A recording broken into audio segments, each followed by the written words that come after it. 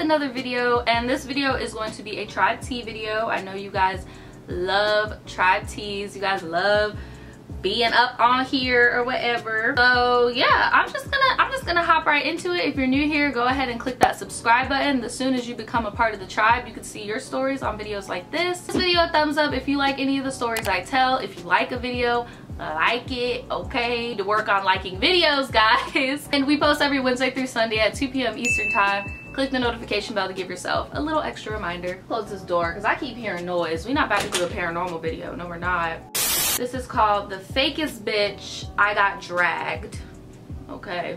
I love your videos. Grab your drink because this might be long. Oh, well, girl, you know, I got my vape. I can't be day drinking. That's not cute. not all the times, anyway. So basically, I'm a shy person until you get to know me and my moods flip a lot, so I don't have many friends. I'm not bipolar and I hate it when people ask me just because my attitude changes when I get around them. Yeah, that is pretty offensive. So there's this girl named Alexis and she was known around the school for being fake and untrustworthy, so I do the kind thing and start to talk to her. Okay, that was not a kind thing, that was a dumb thing. If somebody is known for being fake and untrustworthy, why would the kind thing be to befriend her. Like if she came to you, that's different. But you were like, you know what, I'm gonna go out my way to go and befriend this girl that everybody thinks is a snake. That sounds like a great idea. So I started to talk to her and I'm like, she's not that bad and she could handle being around me even when I flip my shit around her. I went through this girl named Sela's phone and I found out she was talking about Zoe and I told Zoe my darkest secret. So I was like, at the end of the day, I'm going to tell Zoe because I would do the same. Wait, so you went through another girl's phone and found out that another girl, not the girl who you called Alexis, this other girl, has nothing to do with Alexis, um, you went through her phone and found out that she was talking about one of your best friends. Sela and I argue and I don't know why she chose this time to argue. I exposed her nudes at the beginning of the year. Girl, you're fucked up for that. Don't be exposing nobody's nudes. You can get arrested. I knew I was in the wrong, but at the moment, I was talking reckless and didn't care what would happen. I used to fight my brother and sister all the time, so I thought I knew what I was doing. Damn, okay. So we got on the bus and she's all hype again, but I'm calm and I'm just watching her yell while trying to figure out who she's talking to. We get off the bus and we fight. More like I got my ass beat, damn, because I was I wasn't upset and she pulled my hair the whole time. I already knew that our relationship changed. Alexis was starting to be fake. She would talk to me or she would roll her eyes when I came around. So is Alexis and Sela the same person or what? Like I'm confused. I'm so confused. I'm not going to beg someone to talk to me so I save my distance. When we were outside during our class, she came and sat next to me so I moved and she came and sat next to me again. This happened twice. If you don't like someone, why would you out of your way to sit close to them? This girl walked up to me and asked if I had a problem with Alexis and I was like, I think that she's fake and I don't want to be close to her. Alexis sat next to me again after talking to the girl so I got up and asked the girl what she told Alexis. Alexis followed me so I left and as I walked away she said, you better move with your bipolar dick sucking ass.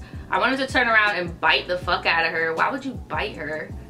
But I had been taking anger management. Next year we have to go to school together and I don't know if I should talk so we can clear the air just leave it alone. Girl this sounds very juvenile and immature. Like girl stop talking to her. Don't be her fucking friend. Like I don't get it. And it does sound like you have anger issues. You might want to go seek some help for that because biting people is really gross and you could actually get sick from biting somebody. Um but yeah it's really confusing. You use a lot of different names. I don't know if you accidentally put the girl's real name in there or what but yeah um leave that alone leave it alone. Everybody else told you that's how she was gonna be. You figured out that's how she really is. What's the point of even continuing? Just leave her the fuck alone. And take some fighting classes. You can't be angry and popping off on people and not know how to fight. Like come on now. Go take some boxing some kickboxing or some self-defense. Okay this one is called granny can get beat. Girl. What's up boo? My real name is blank but please call me bella for this video why does everybody want to be called Bella? Like, is that just like the, the name right now? I don't know. So jumping right into it, my significant other and I have been dating since we were 14 off and on. We are now 22 and 23, damn. Recently, I found out that we are having our first child. So here's the tea, bitch. My significant other, let's call him F, are both different races. I am Korean and black and he is Vietnamese and Japanese. My family is pretty open but his family, like damn near everyone else in the world, hates black people because the media makes us look like villains. Damn, but like even though you're half Korean, like damn, they're just not even gonna, okay. Mm. Now like I said before, we have been on and off since high school. So the fact that his racist ass family tried to play me like I'm after his money and try to steal from him is bullshit. Right? Like i mean shit you're you've been there like you've been there for this long. Like shit like y'all might as well get over it. While going to pick up his little cousin from his grandmother's house she yelled don't let that black bitch stay in the car alone. She will steal. Yeah grandma can't get beat. Grandma can't get beat. Who? Who are you grandma can get beat. When I tell you I am only a couple weeks pregnant and I will still beat an old bitch ass, honey, I mean that. But I'm not gonna lie, she shocked me a little and I knew she wanted to act ghetto in her rich ass, gated ass community. But I had to kindly remind her which one of us is in med school and who married into money. Her bitch ass. Really was trying to cause a scene, so I just got back in the car and wait for my man to get back. When F gets back in the car, he was silent. Me and his cousin both exchanging looks like, well? He didn't check on her, he didn't check her or anything, so I was like, he bitch made or what? Since he didn't say anything, I called my mom because his granny hurt my feelings. I told her everything and he started signing, singing all loud like my mom wouldn't pop him through the phone. What do you mean signing? I don't know. I don't know. Finally hang up with my mom and this nigga decided to speak. Oh, he was sighing, like huffing and puffing. Okay. He told me I was being dramatic because I know that his family's from another country in a different time period. Then he fixed his mouth to say that I should teach them how to love black people. Sir, what? I mean, shit, like literally, you've been there for how long and they still don't realize that not all people regardless of any race is the same. Like that's not somebody else's job to teach somebody that. That's something that they should be realizing on their own. And the fact that they haven't realized that it's kind of appalling. Honestly i got so upset i just couldn't deal with him. I tried to explain to him how hurtful those words are and even use the example of my mom telling me to not leave him around my undies because he's half japanese. Niggas still did not get it for the last three days, I've been with my parents instead of our shared apartment, but he picks me up for work since I'm not driving after a car accident.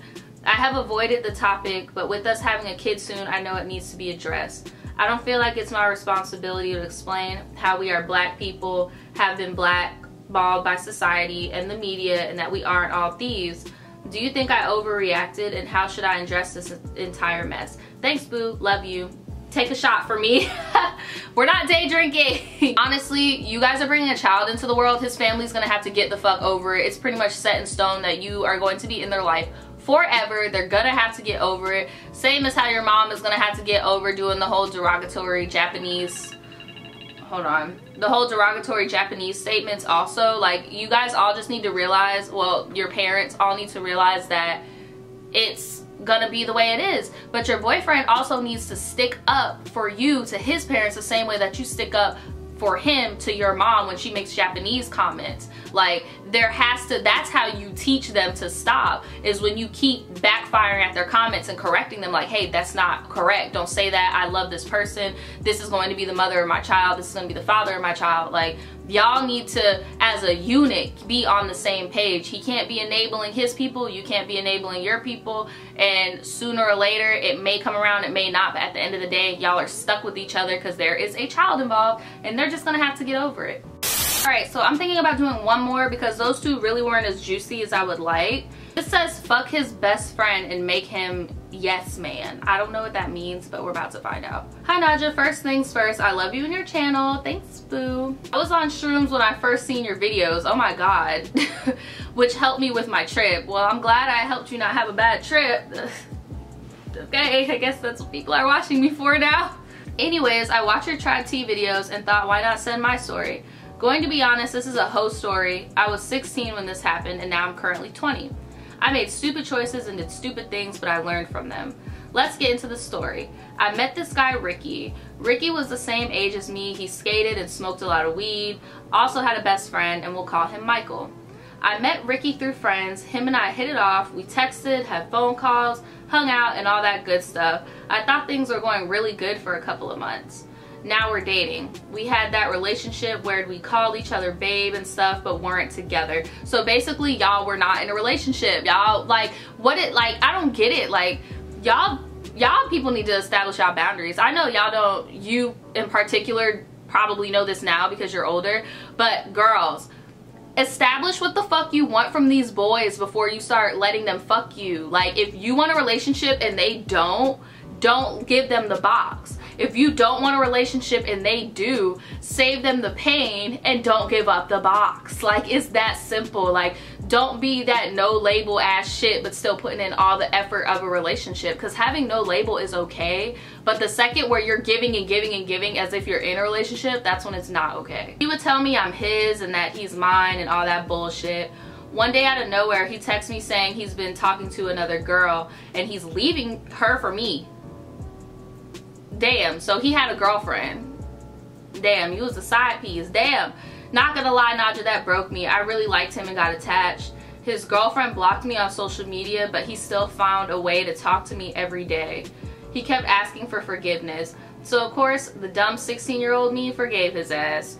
He would still flirt with me asked to hang out. When I brought up his girlfriend he would get quiet he played mind tricks with me and fucked with my feelings. I said to myself, enough is enough get revenge and cut him off. Yes, yes, that's what we need. okay, okay, okay. I knew who his best friend was, but Michael and I really didn't talk. I hit him up one day and we started flirting and talking more. Meanwhile, I'm still talking to Ricky. Yes, ma'am.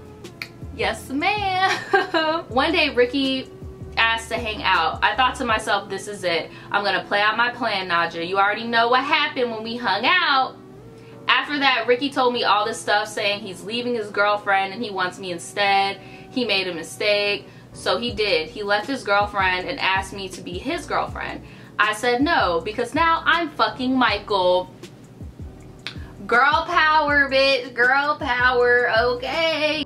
He was left with no girlfriend or boyfriend. To be honest, Naja, thinking back at this, I do feel bad, dirty, and terrible. I wish I can take back what I did, but I can't. I was young, dumb, and I learned from my experience.